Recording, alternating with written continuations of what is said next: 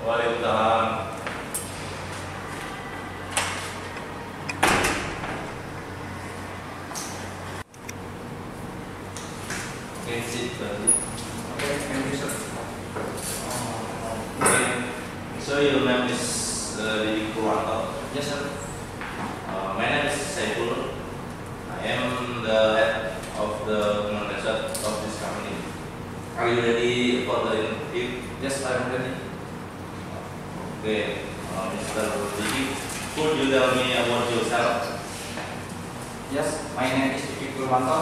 You can call me Diki. I am 21 years old. I was born in Wonogiri and I stay in Karawang.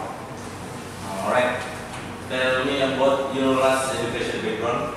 My last education background, uh, I graduated from UPB Karawang University. I took industrial engineering. Uh, when did you graduate from the university? I graduated two years ago. Do you have any job experience? Yes, I have worked in uh, automotive company for one year in Karawang. How much salary did you get there? In my last job, I got 5 million rupiah per month.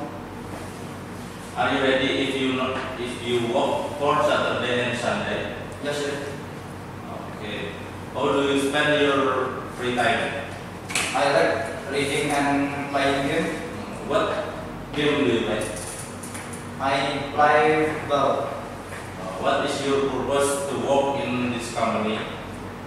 This is a big and professional company, so I want to be part of participate advance of this company. Okay. Uh, what is your strength? Please describe in three words. Workaholic, discipline, and honest. Okay. What what success mean to you? If I can open job on the employment, Okay. What failure mean to you?